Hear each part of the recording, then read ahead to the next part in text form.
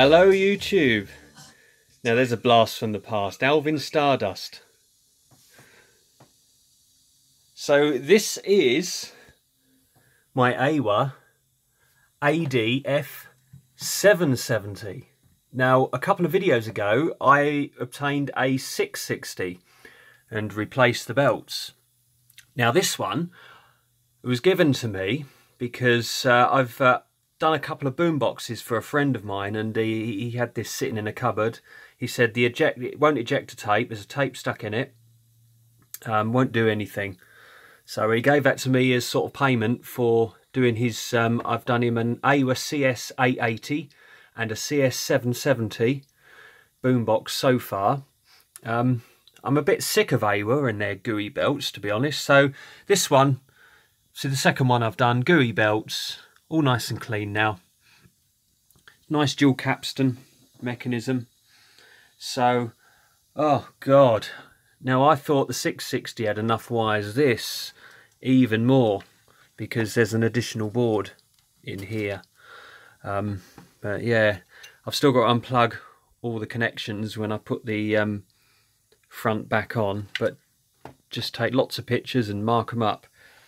And I have to feed all the plugs through here. But it is working. There's one small problem. Now the uh, the eject was stuck because the um, the play cam hadn't quite reset to, to um, back to where it uh, should be for stop mode. So I've I very gingerly took took this um, this plate off here. So obviously the capstans are out and this plate was off here, and there's a cam um, I'll show you the cam because I've got a scrap one here out of a boombox because I changed a broken one. Um, I've got a scrap Aiwa boombox and they're, they're all kind of the same design. They're nasty things to be honest with you.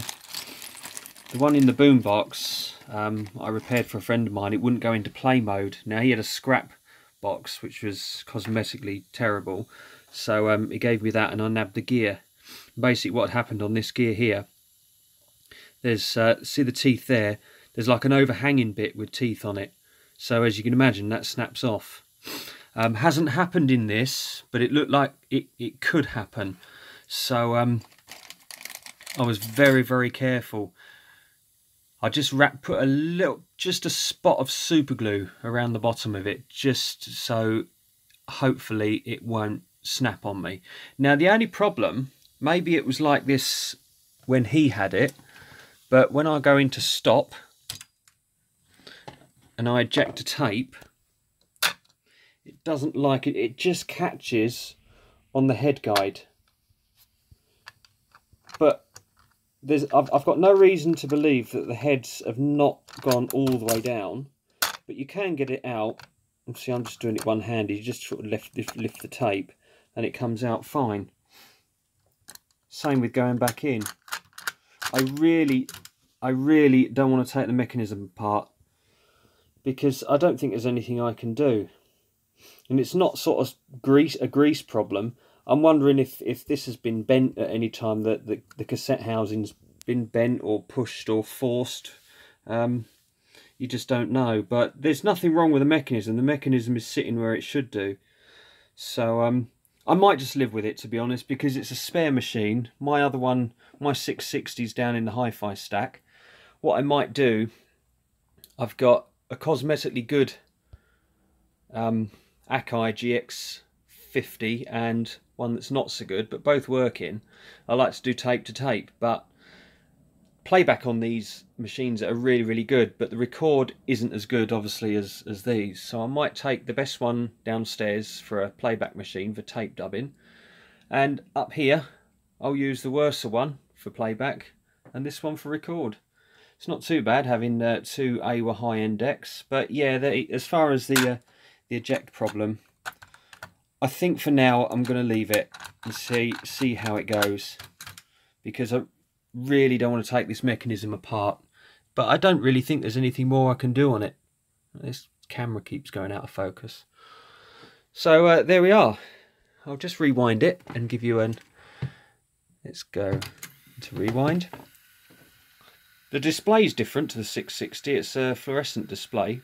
whereas the 660 is more LEDs. I think I prefer the 660 to be honest. Obviously the 660, rather than having an output level here, this is a bias fine tune.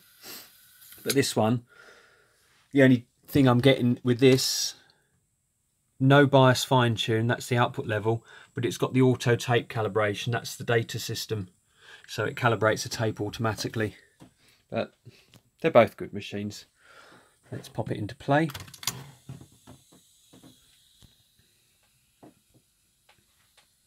Anyway, YouTube, if uh, any of you know of an easy fix of the cassette door, please drop it in the comments, let me know.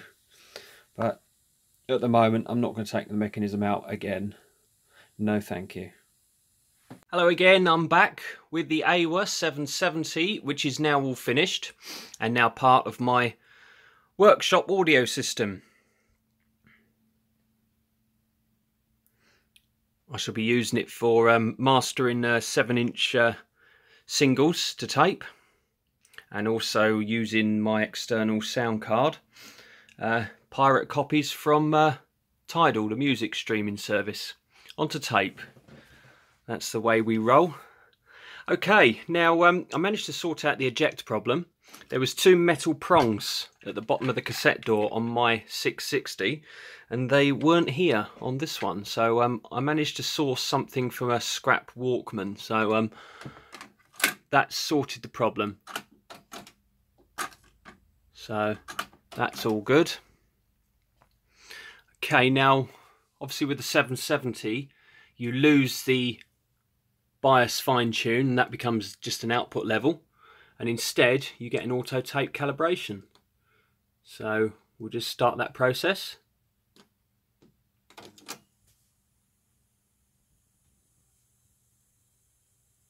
It's a Maxell Type 1 cassette I've got in there, a UR90. I picked loads of them up from the dump.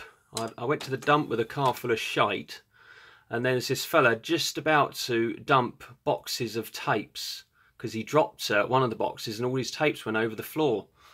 Um, so I rushed over, helped pick him up, and I says, uh, "I'll put them in my car if you don't mind." So um, yeah, he says, uh, I've got a load more. He says, do you like VHS and Betamax tapes? So I've got a big box of VHS, I've got a big box of Betamax, and I've got hundreds of cassettes. And there was some good cassettes which have never been used, um, good blank cassettes. So uh, as well as some pre-recorded ones. So um, I should be anxious to go through the VHS. I need to get my uh, Ferguson Video Star repaired, so might be some porn on there. Or even some Betamax porn, so I need a Betamax machine. Anyway, okay, now that's ready. So we'll start by pressing record. So that's now recording. Let's just go to the Rega. This isn't mine, by the way. This is a friend. I've, I've done the motor mod for him and replaced the RCA cables.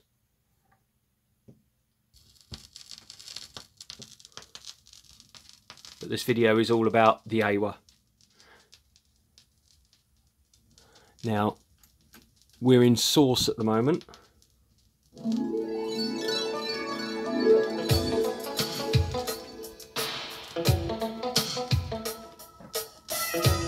Dolby B is on.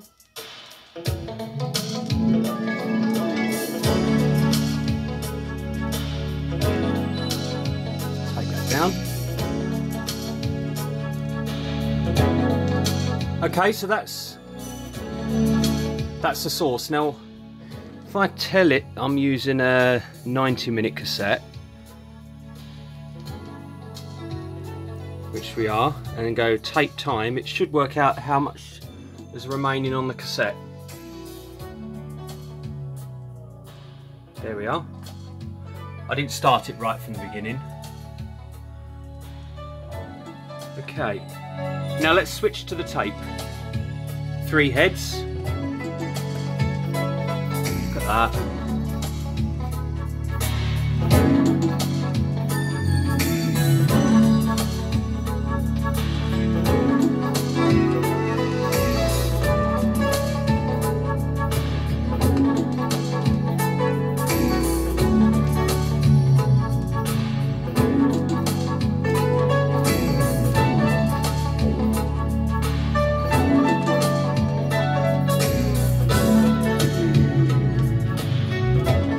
Turn the Dolby off.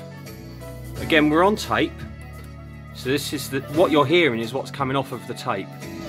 No Dolby now.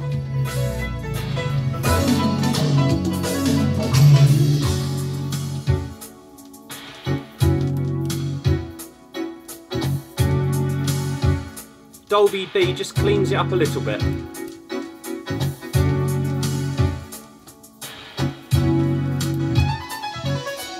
But these are such good machines you hardly need Dolby.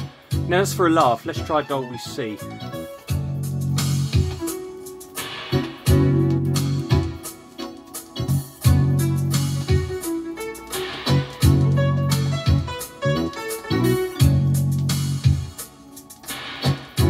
sounds okay to be fair, but I don't know how it would sound on another deck, like if I played it back on that with Dolby C. But I do find the highs, they sound as if they're being compressed. So I do prefer B to be honest. And to be honest, I record in B because when I come and play them back in the car, even though the car's got Dolby B on it, I prefer to listen to it without it. That's in the car. Who has cassettes in the car now? Who records cassettes from fresh and plays them back in the car? God. I've got a cassette, a working cassette deck in this room, in my bedroom, or that's in a music centre. I use that on the conservatory system with a little valve amp and a upright turntable. Um, obviously I've got the 660 in the hi-fi room I've got a Technics, which I'll do a video on. I've got a Technics um, cassette deck in my gym and various boom boxes. They're the working ones. That guy works as well. I've got one of these spare now. I've got one of these spare. I just use this now as a playback machine. Um, give you a quick demo of it. See what we'll do while um, the top one's recording. We'll uh, we'll just record off this tape.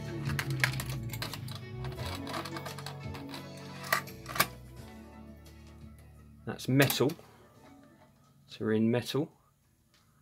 Okay, so all we need to do to the amp is dub from 2 to 1.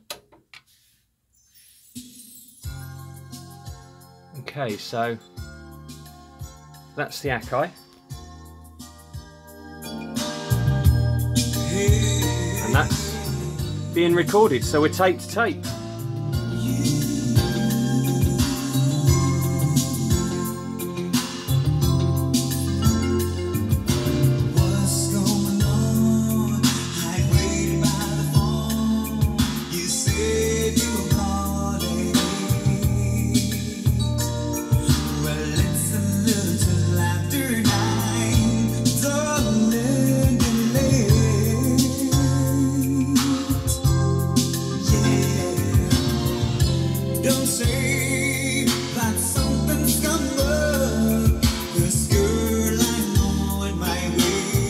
Uh, the little Rega, um, not bad deck to be honest. I've just done the motor mod, so I took the um, the AC motor out and replaced it with a lower voltage 24 volt AC um, motor. It's the standard mod. I think the modification kit was about 25 years old. So I've done that for him, but his his RCA cable from the bottom of the tone arm to the, to the um, RCA plugs, it was uh, had numerous breaks along it, so I've replaced the um, the cable now from the tone arm, so it's a new tone arm cable. Um, that's my head shell because I've got an Akai direct drive. I'm not really into these sort of more audiophile decks. I have got an audiophile deck in my hi-fi rack, um, which I'll show you another in another type of project. It's quite a high-end deck, but you know, I like sort of the late 70s, early 80s direct drive um, sort of consumer hi-fi decks. I'm not really an audiophile to be honest, but um, good cartridge. Um, that's mine. It's a Shure M75 ED. Um, obviously, unfortunately, it doesn't have the original stylus. It's an aftermarket stylus, but uh, I've just popped that uh, cartridge. That's my head shell because he's got my Akai with his head shell, which has just got a basic Audio Technica I put in for him. Um, and when I get my uh, Akai back, I should be putting this back on it. because it's an ideal cartridge, um, high compliance cartridge for the uh, obviously suited for a high high mass arm. Um, it sounds quite nice. I've got no other use for it to be honest because it's no good on my decks downstairs. So I shall use it for mastering singles onto tape, which I've got quite a lot. I've got to put them through the cleaning machine first. Anyway, YouTube, thank you very much for watching.